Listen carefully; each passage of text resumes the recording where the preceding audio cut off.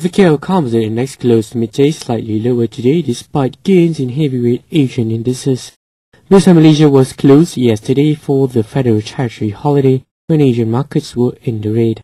Meanwhile, oil prices were hovering at about 40 US dollars per barrel after yesterday's fall.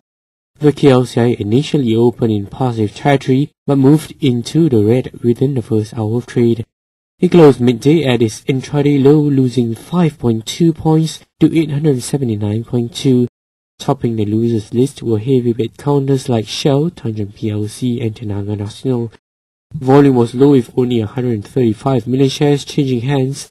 Losers doubled gainers while 139 counters were unchanged. Among the top gainers were BAT and DG.